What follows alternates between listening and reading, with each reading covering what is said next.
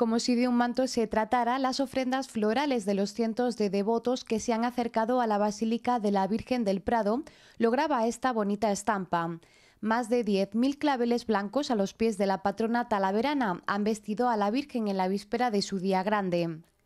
Esta iniciativa promovida desde la Concejalía de Cultura y Festejos nace el pasado año y este ha logrado superar las expectativas dada la gran participación con la que ha contado, camino de convertirse en uno de los actos principales de esta festividad. Creo que es un éxito de participación, por lo tanto agradecerle a toda la gente de Talavera que se vuelque no ya con la Virgen, que se va a volcar siempre, sino que se vuelque con las iniciativas que se hacen desde el Ayuntamiento para esta ciudad.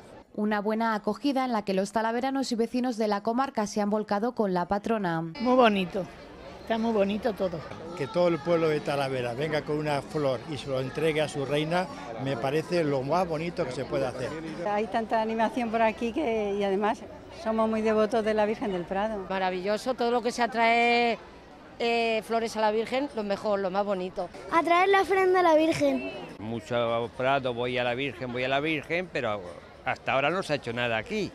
Y creo que la iniciativa es muy buena y muy bonita. No podía faltar el ambiente festivo a las puertas de la Basílica, uno de los escenarios principales donde el grupo folclórico La Candelaria de Gamonal se ha encargado de amenizar la jornada antes de realizar su ofrenda floral.